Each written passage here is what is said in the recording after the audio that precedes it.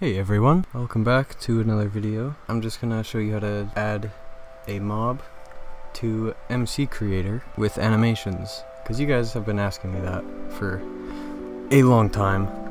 uh, that Soul Spider video I did a while ago, it's been occasionally getting comments and more likes and more views and all that, so I just thought, you know what, I'm just gonna make a video. Like, I'm not gonna show you how to install GeckoLib or MC Creator, because that stuff's pretty easy and that's kind of different so I'm just gonna show you like the basic stuff. So I have this snowy strider I made today.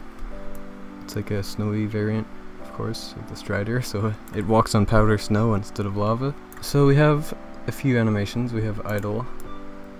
Its hair just kind of sways back and forth and it shivers a bit. Then we have walk.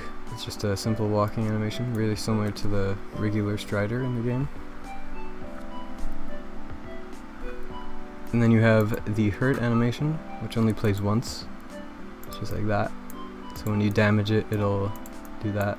Once you have all your models and everything, texture saved, you want to make sure all of these are lowercase, nothing here can be capitalized, and there must be underscores between any space. So, export GeckoLib model, just like this. You want to go to the animation tab. You want to go to this at the top and do save all animations. Now go to your MC Creator workspace. So you go up to workspace tab on the top, workspace settings. Okay, go to external APIs and turn on this. And then do yes. And now that is going to actually install the plugin so it works. Now there's an option for blocks, entities, and items. We're doing an entity right now, so you don't need an underscore here, but you also can't have a space. If it's two words, make the first letter in them capital, and that'll automatically make a underscore as you can see.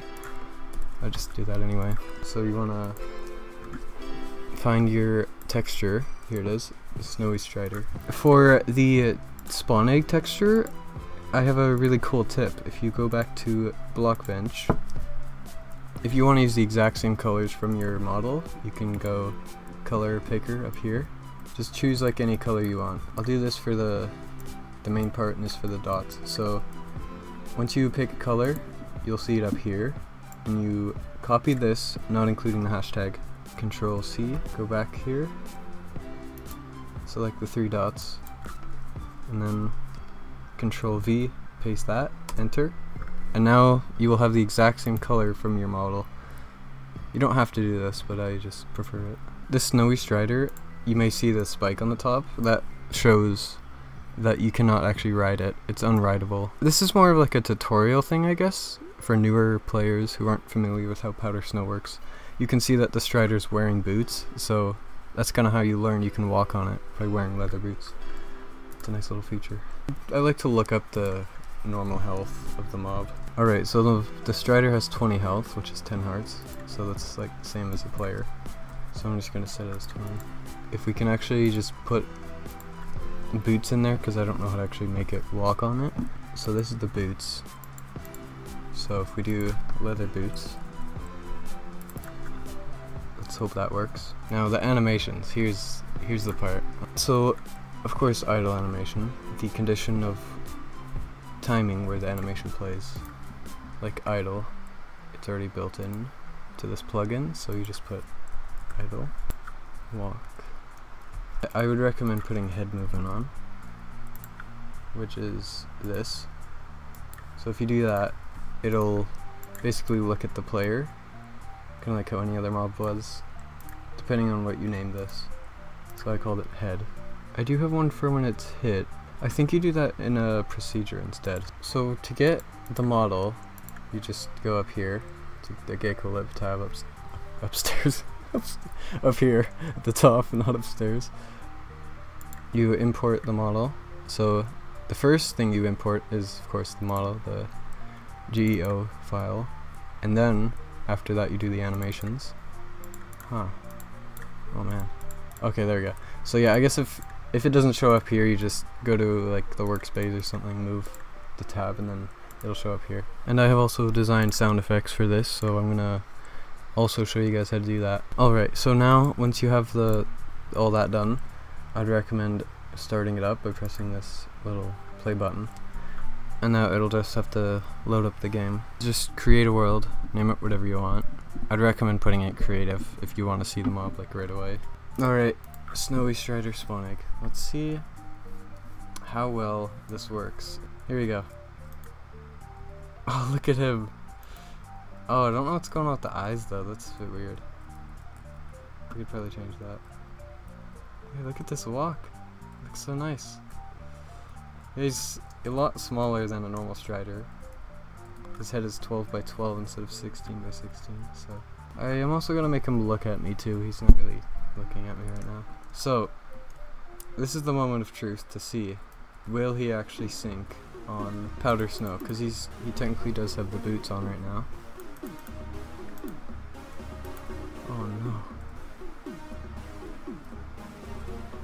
Alright. Oh! Oh! Okay. It works. Look at that! They don't sink. That's amazing. And even if they are in there, they eventually rise up, I think, too. Yeah! Okay, this works! This is perfect. Alright, so they are a little quiet right now, so let's add a few sound effects. I have the sound effects ready in this video, and I just gotta download it from Discord, sent it to myself.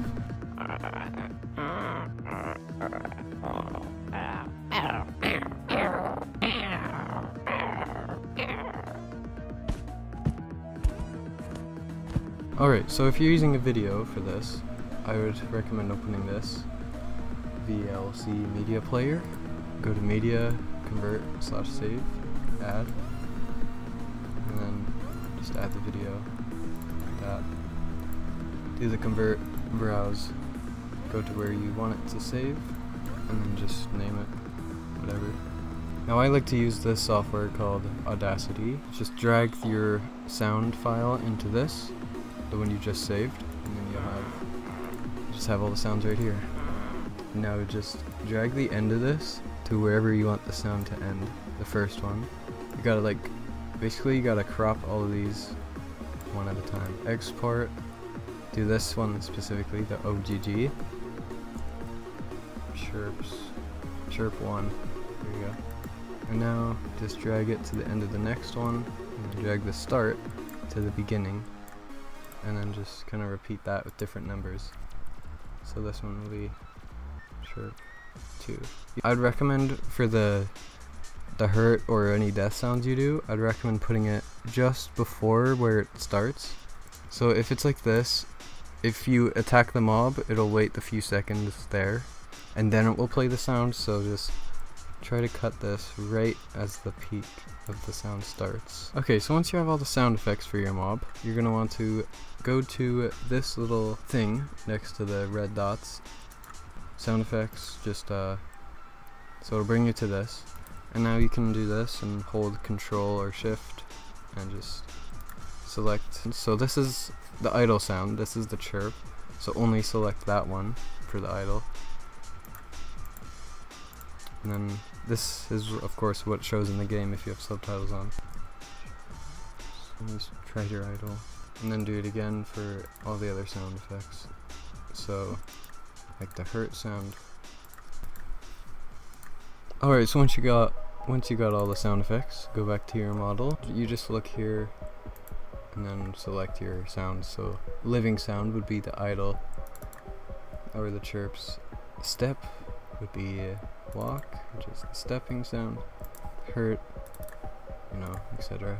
All those. You can also you can go here and you can change either the the bounding box of the mob, or you can change the visual scale. So the mob looked a bit small, so I'm probably gonna make it a little bit bigger. I'm just gonna make a quick loot table so you guys know how to do that too. So up here, you would remove this, and then remove blocks and make it entity instead. Make sure that underscore's there. And then entity, select that. Oh, this is good. Now, I'm not going to explain this whole loot table thing, that's, you can find that on YouTube somewhere else. So, I'm thinking it'll probably just drop like a, you know, like a wall or whatever. Yeah, I'll probably add like an ice spike or something, but it could just drop like an ice right now. Before we start, um, I'm gonna make a quick procedure. You go here, entity attacked. Yeah, so you do this, and then select your entity here. Again, whatever the hurt animation is. It's just hurt. Type in that. Hurt. So now when the snowy strider gets hurt, it'll do that animation. Alright, so if you go back for another test, since the thing has been changed, you might want to make a new world for this part. Wow, this time I actually just spawned in a snowy biome. Oh, he's... That might be too big. And uh, forgot to fix the eyes. Yeah, sound effects work. It's pretty cool. Well, there's the tutorial you guys have always been wanting. Oh. They're bigger than- They're way bigger than a normal strider. Okay, I need to fix that for sure. See you guys in the next video, whatever it might be. I don't upload full videos very often, but I hope to get back to it. Anyway, without any more to say, I hope this tutorial was useful. Linky, out. Bye.